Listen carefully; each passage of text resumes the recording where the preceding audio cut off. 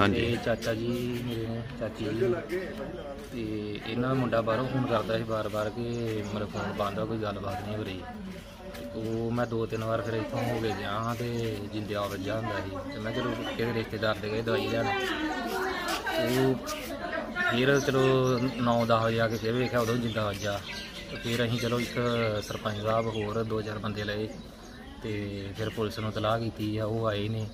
ਤੇ ਆ ਕੇ ਆਪਾਂ ਫਿਰ ਇਹਦੀ ਜਾ ਕੇ ਤੇ ਦੇਖਿਆ ਵਾ ਨਾਲ ਮੁਲਾਜ਼ਮ ਹੀ ਤੇ ਦੇਖਿਆ ਬੋਡੀ ਪਈ ਤੇ ਫਰਸ਼ ਤੇ ਫਿਰ ਅਸੀਂ ਜਿੰਦਾ ਭੰਨਿਆ ਵਾ ਤੇ ਫਿਰ ਉੱਪਰ ਗਏ ਆ ਤੇ ਉੱਪਰ ਵੀ ਡੈਡ ਬੋਡੀ ਪਈ ਦੋਨੋਂ ਡੈਡ ਬੋਡੀਆਂ ਮਤਲਬ ਡੈਥ ਹੋ ਚੁੱਕੀ ਇਹਨਾਂ ਦਾ ਨਾਂ ਕੀ ਸੀ ਜਿਹਨਾਂ ਦੀ ਡੈਥ ਹੋਈ? ਲਸਕਰ ਸਿੰਘ ਵਾਈਫ ਨਾ ਨਾ ਹੀ ਹੈ ਅਮਰੀਕ ਕੌਰ।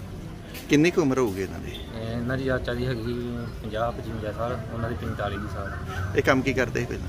ਇਹ ਰਿਟਾਇਰ ਹੋਏ ਬੀਐਸਐਫ ਤੋਂ ਉਹਨਾਂ ਦਾ ਆਪਣਾ ਖੇਤੀਬਾੜੀ ਦਾ। ਰਿਟਾਇਰ ਤੋਂ। ਤੇ ਜਿਹੜਾ ਤੁਸੀਂ ਆਣ ਕੇ ਵੇਖਿਆ ਉਹ ਕ- ਅਹ ਕਦੋਂ ਤੁਹਾਨੂੰ ਪਹਿਲਾਂ ਕਦੋਂ ਮਿਲੇ ਇਹ ਤੁਹਾਨੂੰ? ਕੋਈ? ਮਤਲਬ ਸਾਨੂੰ 9 ਤਰੀਕ ਨੂੰ ਪਹਿਲਾਂ ਹੀ ਸਾਨੂੰ 9 ਦਿਨੇ ਮਤਲਬ ਸਾਨੂੰ- ਸਾਡੇ ਨਾਲ ਹੀ ਉਦੋਂ ਮੋਟਰ ਤੋਂ ਆਏ ਸੀ ਸ਼ਾਮੀ ਦੇ 7 ਵਜੇ। ਉਦੋਂ ਪਹਿਲਾਂ ਹੀ ਸਾਨੂੰ ਟੱਕਰੀ ਬਾਅਦ ਚ ਵੀ ਨਹੀਂ ਫਿਰ ਸਾਡਾ ਕੰਟੈਕਟ ਹੋਇਆ। ਇਹ- ਇਹਨਾਂ ਦਾ ਬੇਟਾ ਕਿਹੜੀ ਜਗ੍ਹਾ? ਇਹਨਾਂ ਦਾ ਡਬਈ ਜੀ। ਉਹ ਕਾਲ ਕਰਦਾ ਸੀ ਤੇ ਇਹਨਾਂ ਨੇ ਫੋਨ ਨਹੀਂ ਚੁੱਕਿਆ ਤੇ। ਹਾਂਜੀ ਹਾਂਜੀ। ਉਹ ਪਹਿਲਾਂ ਰਿਸ਼ਤੇਦਾਰਾਂ ਨੂੰ ਕਰਦਾ ਸੀ ਰਿਸ਼ਤੇਦਾਰ ਮੈਨੂੰ ਕਰਦੇ ਸੀ ਇਹਨਾਂ ਨੰਬਰ ਦਿੱਤਾ ਸੀ। ਤੇ ਮੈਂ ਚਾਰ ਪੰਜ ਵਾਰੀ ਦੇਖਿਆ ਤੇ ਜਿੰਦੇ ਕਰਕੇ ਬੰਦ ਵਾ ਤੇ ਫਿਰ ਮੈਂ ਕਿਹਾ ਕੋਈ ਨਹੀਂ ਜਦੋਂ ਆਉਣਗੇ ਗੱਲ ਕਰਾ ਦਾਂਗਾ।